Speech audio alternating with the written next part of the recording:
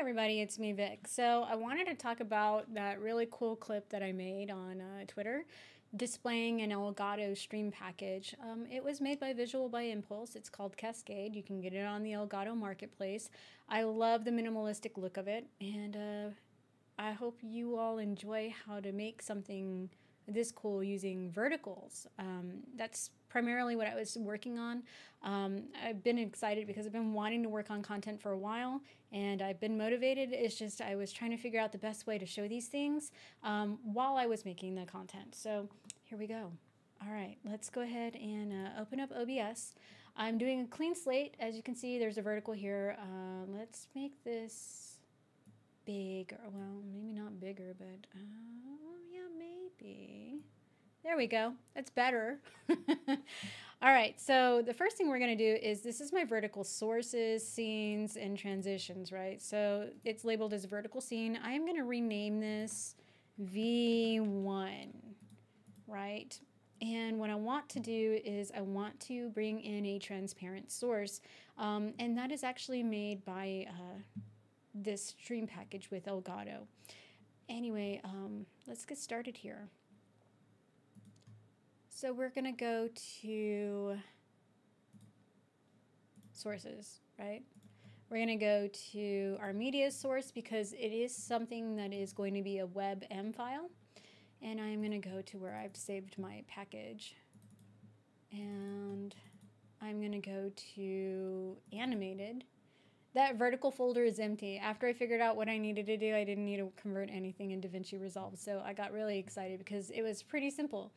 Um, let's go to scenes and I'm going to go to animated. Now the starting scene I wasn't too keen on using because there is going to be like wording or phrasing in there, but I noticed that it clears off the whole screen and it'll still say starting soon. And I wanted the starting soon to kind of disappear with it, or if not, at least half of it. And so I went with the ending screen instead, and I chose the uh, transparent.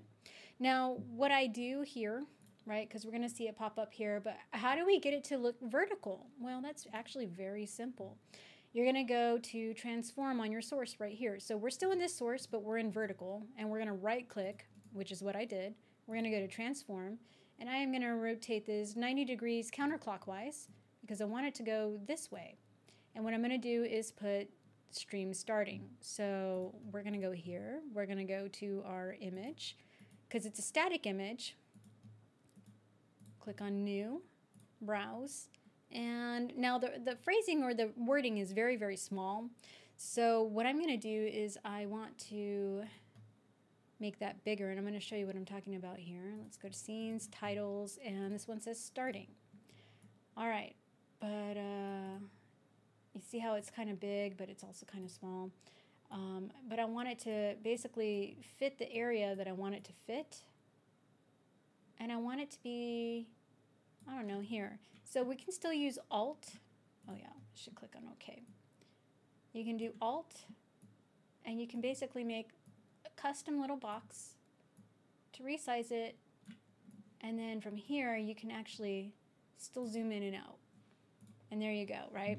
Well, almost right? Like you usually see like a preview behind it, whether it's a face camera or, or face cam or camera or game content. In my case, I choose game content.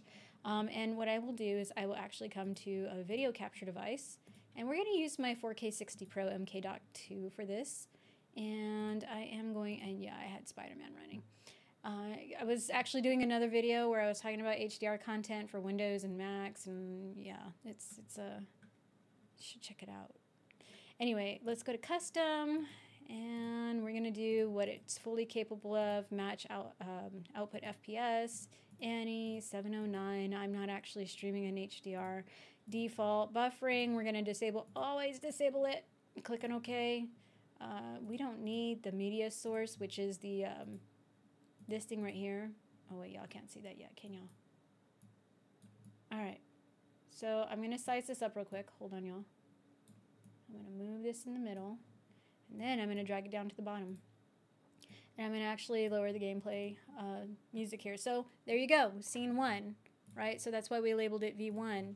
And then same thing. We're going to actually go here, create a new scene. We're going to name this V2.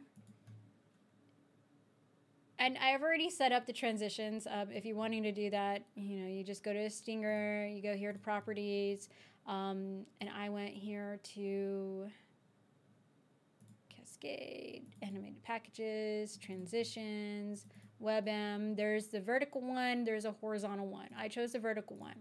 It's already set. You don't have to configure anything. So when you're doing that transition between scenes here, it'll do that for you.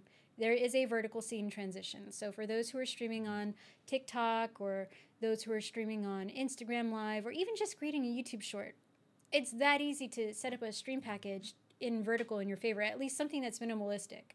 I, I couldn't vouch for any of the other ones, but Cascade, very, very easy to do. Um, anyways, thanks for watching, everybody. I hope y'all have a wonderful day.